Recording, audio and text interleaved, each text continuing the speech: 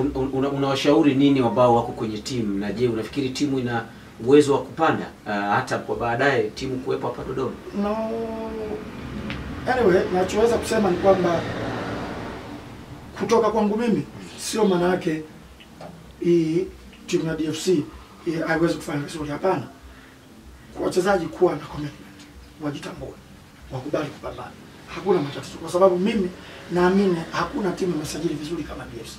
Hata ukiangalia mchezaji mmoja mmoja, leo ukimwangalia Moka ni best player, ukimwangalia Manzi best player, Lazaki ametoka Mwadui Premier League ni best player, ukija kumwangalia Doto one of the best goalkeeper, na kila siku nagombana naye. Ukimwangalia Ngecha mchezaji mzuri, lakini kuangalia kwa nini tunapoteza mechi?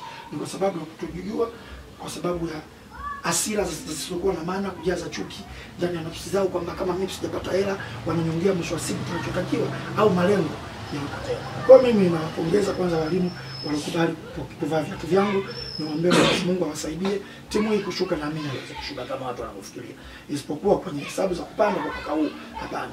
Lakini hata kwenye the best of three kama tutapambana katika hii nafasi, inawezekana ikapatikanika tukagombania kwenye ile best loser, tunaita ni best loser, sio best loser, tunaweza tukapata wakapambana. Mimi bado mwana Dodoma, mimi nimecheza Dodoma kabla ya leo, nimecheza Dodoma CDA mwaka 80 nimeondoka 86 nimerudi tena mwaka nililetwa na Mavunde Mm. baba yake, mwaka huu nimeletwa na Mavunde mtoto. Kwa hiyo bado mimi ni mwana Dodoma na mimi bado niko tayari kusaidia Dodoma FC mara popote, wakati wote, msaa saa yote. Mimi huwaga na vinyongo. Mimi ningekuwa na vinyongo ningewachukia wachezaji wengi sana wanaokuwa na uadui juu yangu, lakini mwisho wa siku mimi nawajua. Huwaga nasema nawasamehe kama Yesu alivyowasamehe walimpiga misumari, alisema hawajui watendao.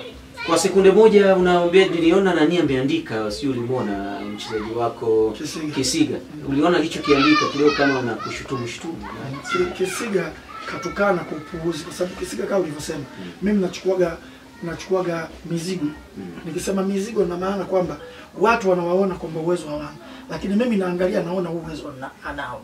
Kisiga alikuja hapa tena, na bahati nzuri mimi sio nilimrecommend, alikuwa recommended na makamu mwenyekiti na Lekia kwamba huyu anaweza. Mimi nilimkatalia kwamba Kisiga mkorofi. Tatizo la Kisiga ni mkorofi.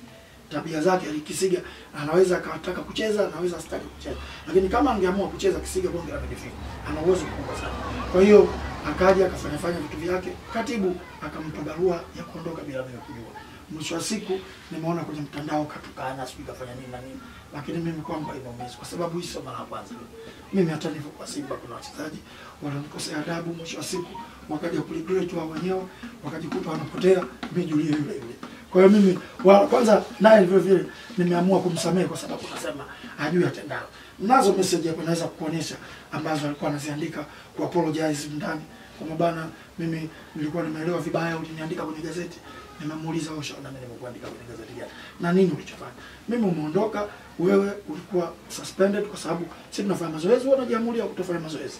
Mimi nimemwambia katibu, katibu kama mtendaji mkuu wa timu simamisha kukusimamisha kwake mimi nahusika nani?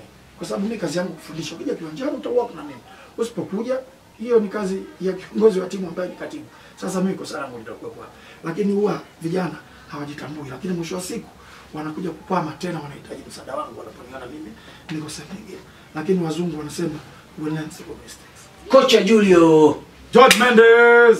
Eh, Bwana, eh, tuna tunahitimisha hivyo, endelea kusubscribe eh, YouTube channel yetu ya AF, AFM uh, Dodoma uweze kupata mambo mazuri kabisa. Nilikuwa nimefika kwa Tarantina hapa kidogo uh, kupiga naye story mbili tatu baada ya kuwa ameachana na klabu ya Dodoma FC ambayo inacheza ligi daraja la kwanza na bado timu inajipapatua ikiwa chini ya walimu ama benchi la ufundi e, jipya kabisa. Juma Ayo e, kwa mara nyingine, wakati mwingine. Shukran sana Julio. Shukran habibi.